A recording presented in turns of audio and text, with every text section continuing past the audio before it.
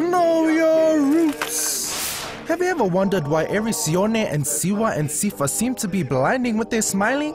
It's what the Tongans called the Nifokola. Eh, not Niafkuala, Nifokola. Oh, what? Let's start from the top of the chart. Like every other fascinating Pacific Island legend, once upon a time on an island far across the Pacific Ocean, not Stewart Island, but you know, up the other way, Long time ago in 950 something BG. That's before gold. A boy named Sione, aka John, had run away from his home, scared to return after spilling otai on his mom's handmade tapa. Oh where? The boy was not eat anything for seconds, minutes, minutes. He was very hungry. He'd hang in the streets, asking people, schoolgirls who walked by, for the money and for the food.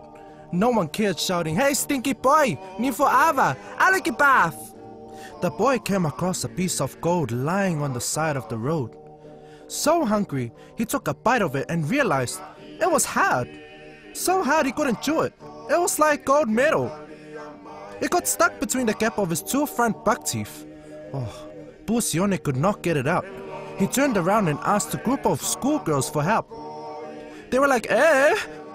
But soon as he spoke, the shivering me timbering light from the gold in his mouth between the two front buck teeth that he had eaten and thought it was food after passing it on the road, after running away from home, after spilling otai on his mom's tapa, hit the girl's eyes like a Tongan cupid hitting a hose with an arrow.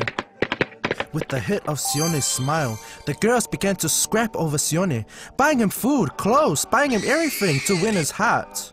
Sione never stopped smiling. So you know Sione? He aka John? He's aka Little John, smiling his way to platinum albums and platinum gold grills. You know Snappy Fingers? Yeah, that's him.